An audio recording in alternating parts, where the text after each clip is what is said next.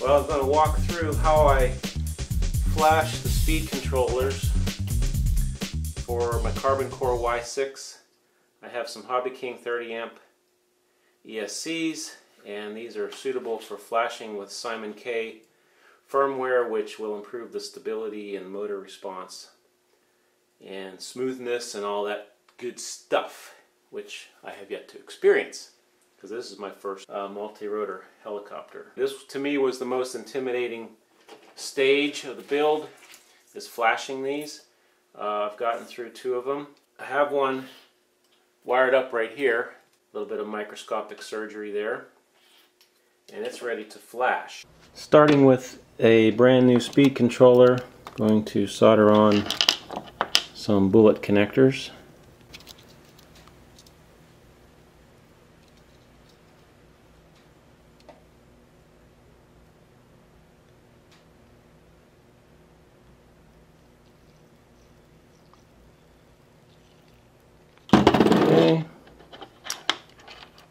the wire in and let it ah, heat up a little bit. You can see it all flows, cooled, and done. Now I'm going to solder six wires onto the six pads first of the speed controller so we can flash it. First I'm going to very, very carefully slice through.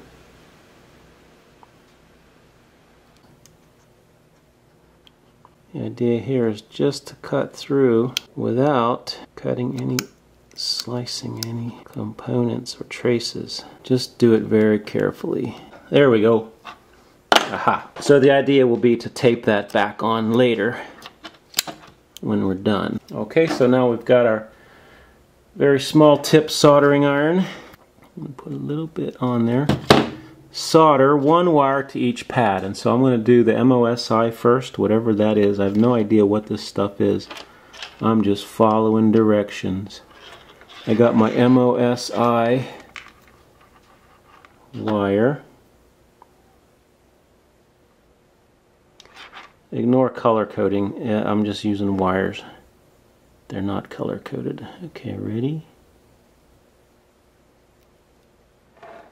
Done. The idea is you want to do that really quick. Your iron needs to be nice and hot and thin. Alright, I need to find my SCK. Again, I have no idea what this stuff means. Alright, ready?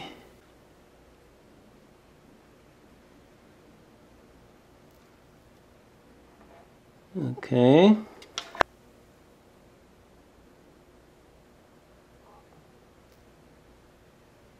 Ah.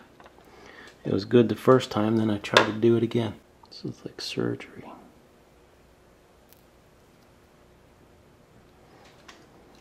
Okay.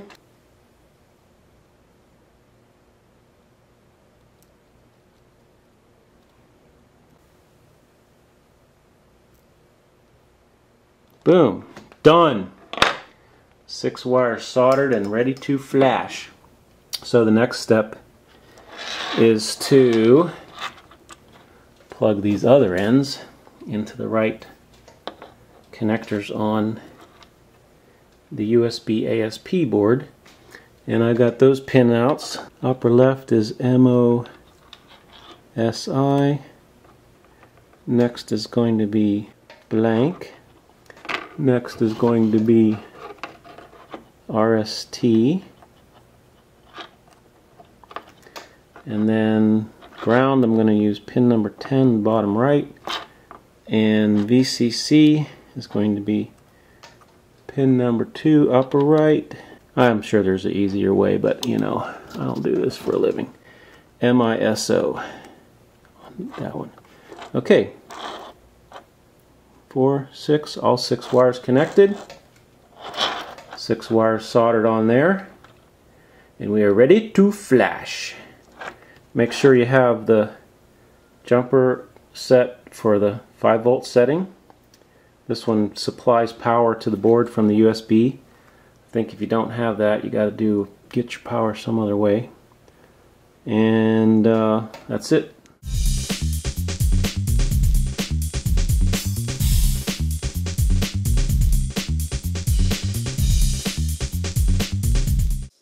Back from the computer. I just flashed the SimonK firmware into this 30 amp BlueSeries Hobby King speed controller and I'm going to test it. So first I'm going to unplug it from the USB ASP board. I don't know if that makes any difference but just for the heck of it I'm going to unplug that. And on, after I test it make sure the flash went good, went well, uh, I'm going to unsolder those wires. So I have, like I said, a temporary uh, motor wiring, some bullet connectors tempor temporarily soldered onto one motor, just to test. And what I'm going to do here is very, very carefully rig up a temporary battery, keeping those leads well apart from each other. Temporary battery, which I'll plug in here in a second. And uh, plug this into my receiver or I mean throttle port on the AR8000 make sure to get the signal wire correctly oriented. Okay and now what I have found is I just go straight into throttle calibration. Uh, I tried powering it up with throttle down and it still needs calibrated so it seems to me the best way is just to go straight with full throttle. And in order to do that on the DX8, you have to disable uh, the throttle, oh, what is it, throttle warning within the uh, setup. Otherwise, it won't let you turn on. So we'll turn it on.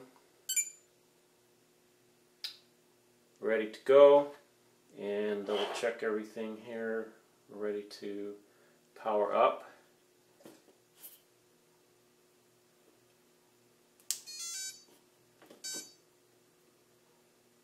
That was the signal.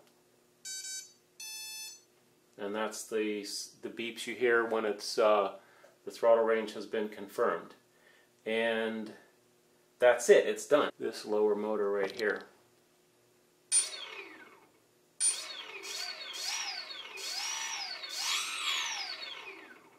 Okay, so that works. And that's it. So now if we unplug the power, and I don't know whether it makes any difference to recycle the radio or not. Let's just recycle the radio. Listen to what it sounds like now with a fresh, uh, properly calibrated uh, throttle range. It's got that rising doo doo doo doo. That means it's ready.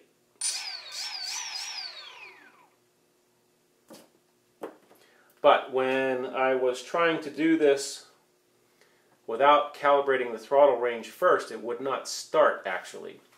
Um, and uh, it gave three the three rising beeps but not the fourth one so it wasn't happy and it would not arm the motor so that's why I just went for straight uh, calibration right off the right off the start and that's been working three times in a row now should be good to go. I will unsolder the six wires off of here. It's just exactly the reverse process. Uh, you know, watch the part where I solder those on. It's just the exact opposite. You just touch the iron on there and poof, those pop, you know, those wires come right off.